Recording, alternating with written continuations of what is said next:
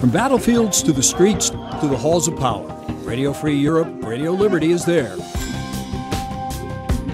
RFERL has more than 500 full time journalists and 750 freelancers in 17 international bureaus. We cover the news in countries where a free press is banned by the government or is not fully established. RFERL serves 23 countries in 25 languages, from the Balkans to the former Soviet Union, plus Iran, Afghanistan, and Pakistan. Our mission is to promote democratic values and institutions with accurate, uncensored journalism. Radio Free Europe and Radio Liberty were launched during the Cold War, aimed at people under Soviet domination.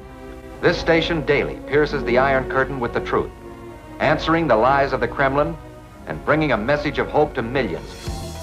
Today, RFERL serves new audiences and has gone far beyond its radio roots. It's a high tech, multi platform organization, reporting the news via satellite, smart apps, cable, mobile, the web, social media, and radio.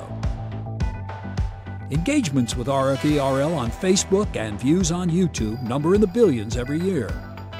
Dramatic scenes in Kiev. Other major media companies like CNN, BBC, and the AP use our reporting. A rocket landed outside his home. We're a private media company funded by a grant from the U.S. Congress. We're one of five networks that make up U.S. international media. We set our own editorial policy, and our journalistic independence is protected by law. In keeping with our mission, our coverage pays special attention to issues of democracy and human rights.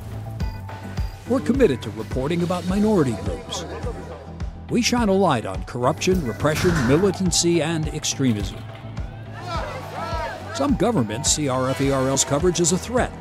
They try to jam our radio and television signals and block us on the internet. In some countries, RFERL journalists and their family members face relentless pressure.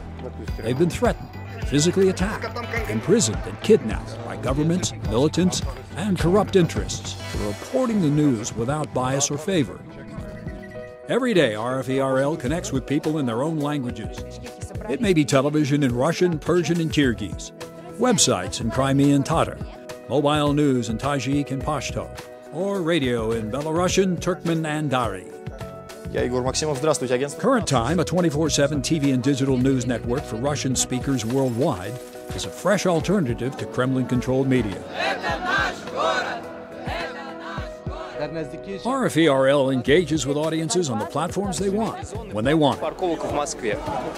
Our journalism is the reason we continue to break news and boundaries.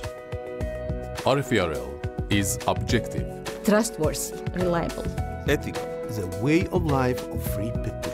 RFERL is a creative community. First hand information, commitment to journalism RFERL is a voice for the voiceless.